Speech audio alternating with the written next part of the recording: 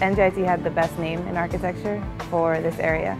My father graduated from here and has always spoken highly of it. I came to NJIT for mechanical engineering because within state it's one of uh, probably the top three schools for engineering. When you know that you, you love what you're doing, I think that's, that's the biggest thing and, and what makes me realize that NJIT was, was actually a perfect fit for me. I wanted to go for careers and uh, I know that NJIT is a really career-oriented college. My mom's actually a college professor and she recommended the school knowing that some of her students went on to the school and did really well also. We didn't really care if we went to different schools, but it just turned out that NJIT had, had good basketball and academics, and that's what yeah. we both wanted. When I drove up, it was like, you know, its own little safe haven, like a nice little area right in the middle of this big city. I really like the, the small school atmosphere, yet still the full college experience.